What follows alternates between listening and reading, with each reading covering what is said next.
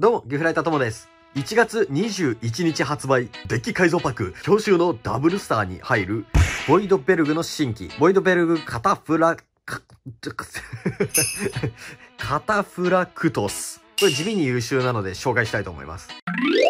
闇属性4レベ、攻守1000。このカードを召喚したターンに自分フィールドにこのカード以外の闇属性がいる場合に発動できる。自分のデッキの一番上のカードを墓地へ送る。この効果でモンスターが墓地へ送られた場合、さらに自分のレベル8ギャラクシー1体を手札に加えることができると。ゼロ軸のあの闇属性たちの効果のギャラクシー版っていう感じで使えるので、なかなかいいんじゃないかなと思います。でね、条件も闇ギャラクシーじゃなくて闇属性がいればいいだけなので、それこそゼロ軸ボイドベルグデッキとかとも組み合わせることができるし、回収できるモンスターは闇属性ギャラクシーじゃなくてレベル8ギャラクシーなので、グレイストームレベリーとかでも回収できるし、光闇ギャラクシーデッキが組めるんじゃないかなと思います。さらに戦士族の右並みと組み合わせても、墓地回収のね、確率が上がるのは、なかなか素晴らしいことなんじゃないかなと思います。使いやすそうですね。ところで公式サイト見てふと思ったんですけど、いつまで夏祭り気分なんですかね？